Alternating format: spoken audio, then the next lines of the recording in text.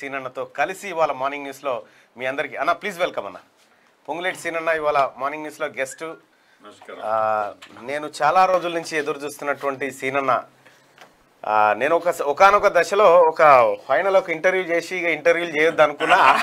ఆ interview scene అనేది అయి ఉండే.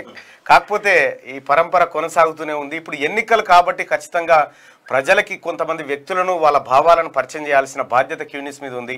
అందుకోసమే ఇవాళ తెలంగాణ రాష్ట్రంలో కేసీఆర్ ఒక నిద్రలో ఒక పది సార్లు మేల్కుంటే రెండు సార్లు ఖచ్చితంగా పొంగులేటి సీనన్న అంశంలోనే మేల్కుంటాడనేది నాకున్నటువంటి అంచనా.